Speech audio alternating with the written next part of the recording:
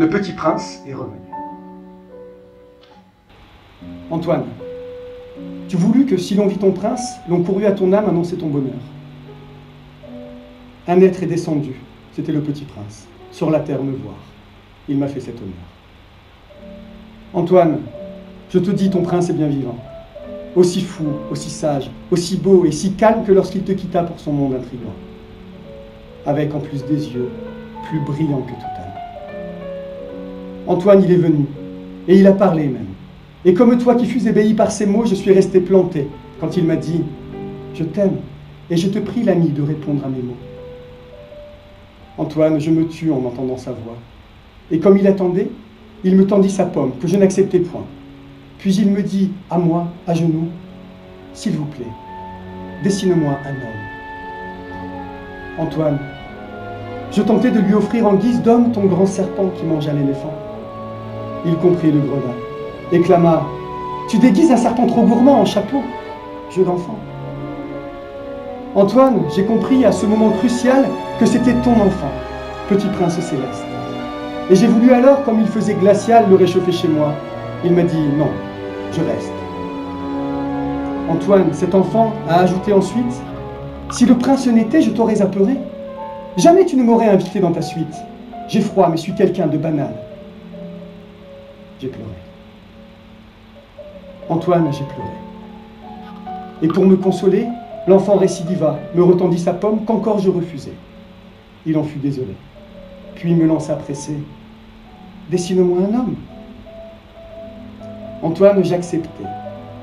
Et dans un seul jet d'encre, je traçai, je le jure, un homme exact en tout. Il refusa tout net. Et saisissant mon encre, il effaça mon œuvre en en versant partout. Antoine, c'est alors que l'enfant fit un cours sur l'homme et sur la vie.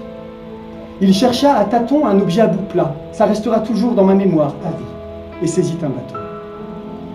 Antoine, il me poussa, et sur la feuille noire de mon encre versée, l'enfant seul s'appliqua, puis m'invita à voir ce que je ne pus croire. C'était mon dessin noir qu'en blanc il répliqua. Antoine, je lui dis, mais pourquoi mon enfant? De mon dessin parfait, tu ne fis une tâche. Si un instant après tu me refais confiant, le dessin négatif en partant de la tâche. Antoine, ma question lui parut si stupide qu'il répondit plus tard, l'homme est mal défini. Il se prend pour un tout, oui, car l'homme est cupide, alors qu'il n'est qu'un rien dans un tout infini. Antoine, j'ai compris ce que l'enfant me dit. À travers cet écrit, toi aussi, je suppose.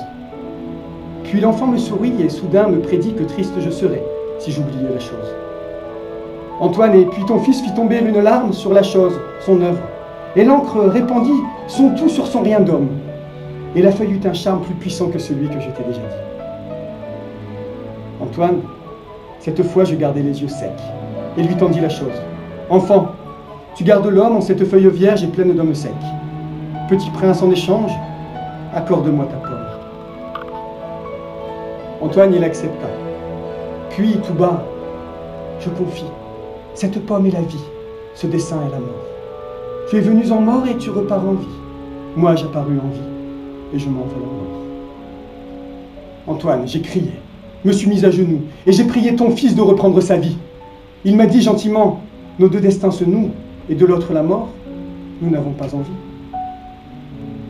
Antoine, calmement, il m'expliqua, le prince, qu'il ne serait plus seul dans le ciel à présent, puisqu'il a pris un homme en une feuille mince et qu'il devait partir, et que j'étais gêné. Antoine, je quittai le petit prince alors, puis j'entendis son cri déchirer les ténèbres. Ne restait en son lieu qu'un nuage fait d'or et un serpent sifflant une marche funèbre. Antoine, ce serpent n'était pas comme d'autres, qu'on peut croiser souvent dans le regard des hommes.